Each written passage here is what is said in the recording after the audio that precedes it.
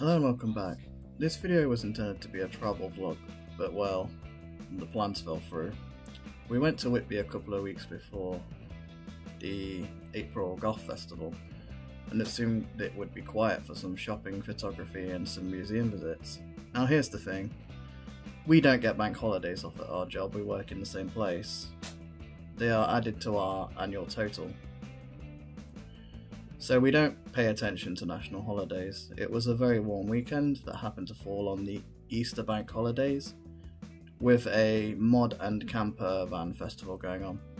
So in addition to two festivals going on in the town, the annual bank holiday for Easter, where every single Brit's inner instinct tells them to go and migrate to the coast, was also happening.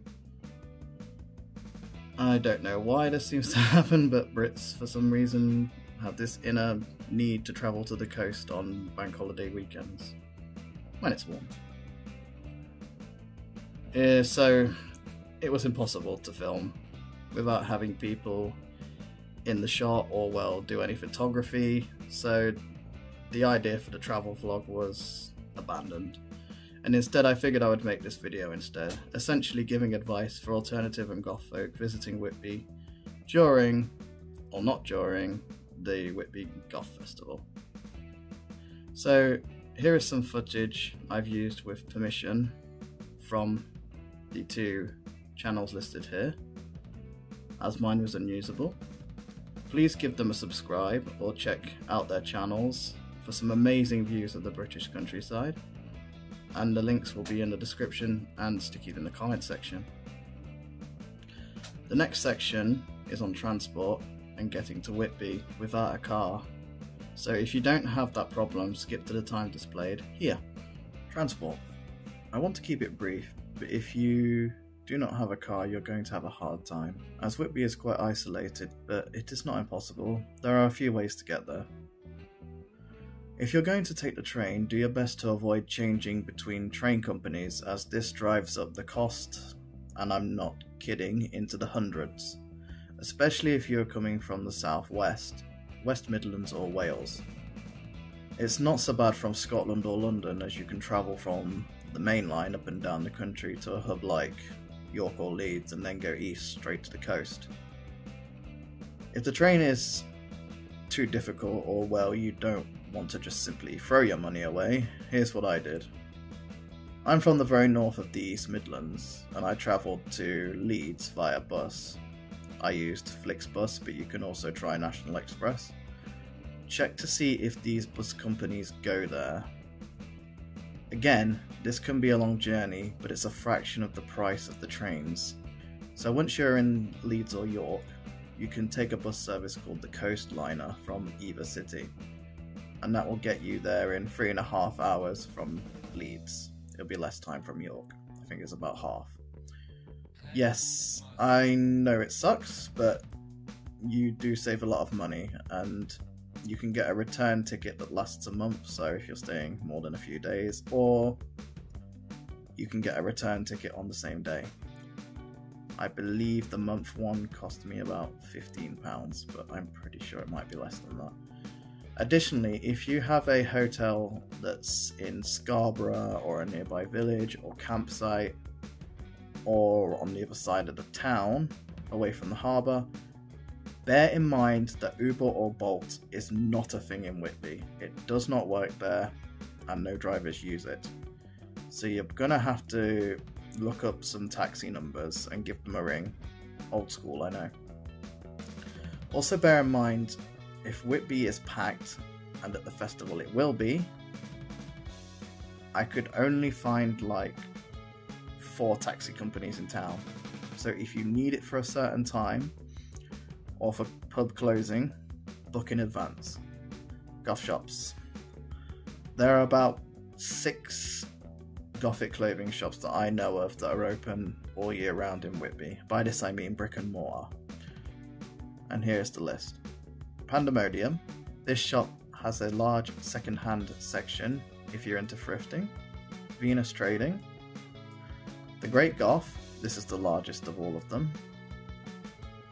Squid Rock, this one covers a few subcultures. The Owl and Pussycat, again varied but worth a visit. There are there is also a small store next to Great Goth, uh, heading in the direction of Flowergate. Um, I could not find any reference to it online, so I assume it's new. You can do all the brick shops in the town in about two to three hours, as they are all close together near the harbour on both sides. Remember, businesses come and go, so check before your journey, as there may be some new ones or some may have disappeared. Bear in mind, if the festival is on, there's usually a big market additionally from clothing brands and stores from Britain and abroad. Also in the past I've seen other markets and second-hand markets dotted around the centre. I recall one being inside a hotel one year, so I recommend planning your day or days accordingly so you can do all the clothing shops and stores. Gift shops and spiritual shops. If you're into spiritual shops and hippie type shops that also sell spiritual stones and fossils, there are some listed here. Rainbow Shells, Natural Wonders, Celtic Inspirations, and Gutsy Gingers. There are also sometimes markets at the square at the end of Sandgate. The gift shops are your standard British seaside shops with shells, bucket and spade, sticker rocks, crabbing, gear, but there is a difference. They all, and I mean I'm 99% sure all, decided to get in on the gothic theme of the town, and they all have a small or large area dedicated to gothic figurines like the Anne Stokes collection, such as skulls, dragons, and goblets. There are also a lot of dedicated specialist sweet shops directly along the seafront. Whitby Jet Shops. Ah yes, the famous precious and rare gemstone that Whitby is known for and has been mined for thousands of years around the town. There is one Whitby jet shop near to the train station, but all the others are across the river on the east side or below the Abbey. I highly, highly recommend you shop around before buying any Whitby jet. It is very, very expensive, even for small jewellery, and there are some much more expensive shops than others. Luckily as stated, they are all around the same two streets, bar one shop near to the bus station. Please note you will not find any gothic designs really if I'm being honest. At best you'll find the odd spider or bat, maybe a coffin, but, but there are a few animal designs. Hotel.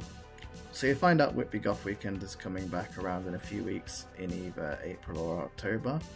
You have a few weeks to get it sorted, you've sorted your way to get there, you've got your savings, you and your friends or partner are down to go. Fantastic, you think, I'll just book the hotel. you fool. There are no hotels for you. Your sterling has no power here. I can't believe you tried to get a hotel a few weeks before Whitby Goth, you baby bat. oh, what were you thinking? I cannot tell you how many times I've heard this story. And the first time I went, it happened to me.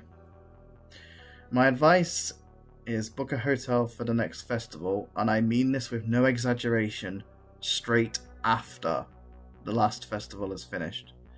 It was a nightmare to try and get a room 12 odd years ago, and with the festival getting bigger and bigger every year, it'll only get worse. The other reason is that the hotels know that in April and Halloween the dates of the festival, and they jack up the prices as they know the rooms will go fast. So please make that a priority when considering an overnight trip.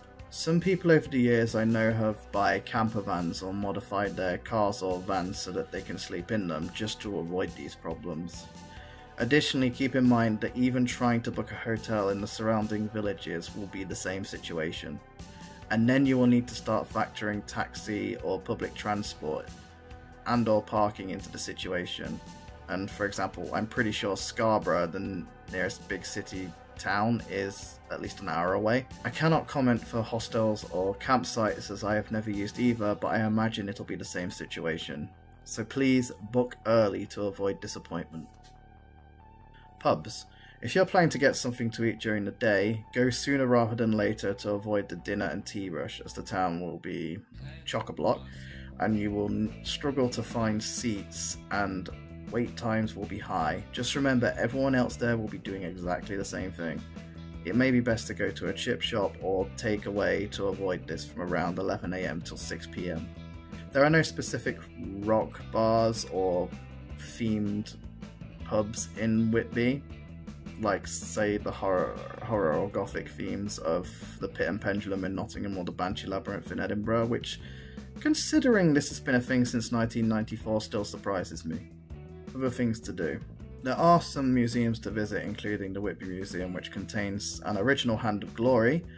If you're into witchcraft, horror, or history, this is a must see due to the Hand of Glory alone, and I'm pretty sure there's only one or two left in existence, an original one. You have the Captain Cook Museum dedicated to the great explorer's life, and the Whitby Jet Museum, which is oddly inside a restaurant. There are some boat rides around the harbour, including a pirate ship, and whale watching boat trips. There's also a uh, restaurant that's on a boat, but I don't think it's a real boat, it's just a boat that's in the harbour. It's basically a fake boat restaurant. There's the Dracula Experience, which is like the like a haunted house and goes over the Dracula story because, of course, the novel Dracula was written by Bram Stoker and drew inspiration from Whitby.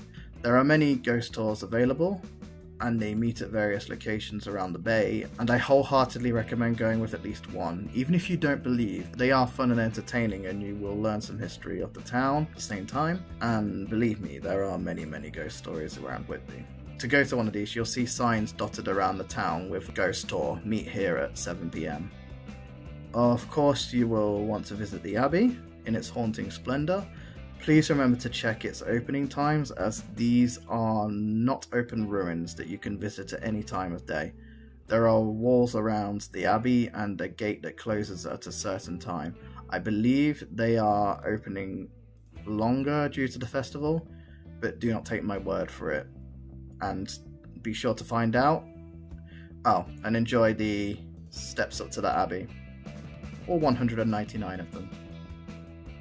Should I take my dog? This may seem like an odd question, however, I was in Whitby around three weeks ago. Not for the festival, just for a bit of shopping and photography. It was a very warm day, and I will tell you, it seemed like every dog in Yorkshire was there. Now, please don't get me wrong, I know that a lot of people who've watched the channel for a long time know that we're cat people. But, introducing Queen of Dragons' new familiar, Lancelot. He is an orange sable, fox faced Pomeranian. We have had him since October, I just haven't had the opportunity to introduce the little Borka. So, no bias towards dogs here. As you can see, he is adorable. This isn't a complaint, because we do actually love a good doggo. The point I'm making is this. Whitby is very friendly towards dogs, and a fair few shops even allow you to take your puppa inside with you. But an observation I made, and unfortunately heard due to how packed the old narrow streets were, was a lot of yelps from dogs getting their paws stepped on. So, this may be an odd section to add, but I wish to point out that if you have a small or toy breed of dog, you may wish to carry them around whilst walking in the streets due to the high risk of injury and how easy it is for a small dog to be stepped on. Photos of you. If your outfit stands out in any way or is unique, from experience you will be asked, and sometimes not asked, to have your photo taken.